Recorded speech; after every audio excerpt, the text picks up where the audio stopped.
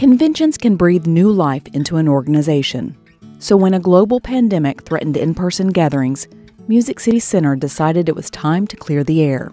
Questions of air quality were never never came up. That, that was not, not, not talked about. But now it's it's even more, you know, it's, it's the hot topic. As the director of engineering, Terry McConnell is responsible for maintaining the 2.1 million square foot facility and its air filtration system. We knew and understood as our business started picking up that we wanted to get into a position of being in partnership. We wanted to partner with the people that are experts. Following a request for proposals, Camfil USA came out on top. Uh, Camfil USA is an international uh, air filter manufacturing company and uh, we develop air filtration products. The Music City Center is using our Hi-Flo ES, which uh, ES stands for Energy Saver. The Hi-Flo ES removes typical air contaminants like smoke, pollen, and dust, but it also removes bacteria, fungi, and virus bearing droplets. With a MERV 13 rating, it is considered a hospital grade air filter.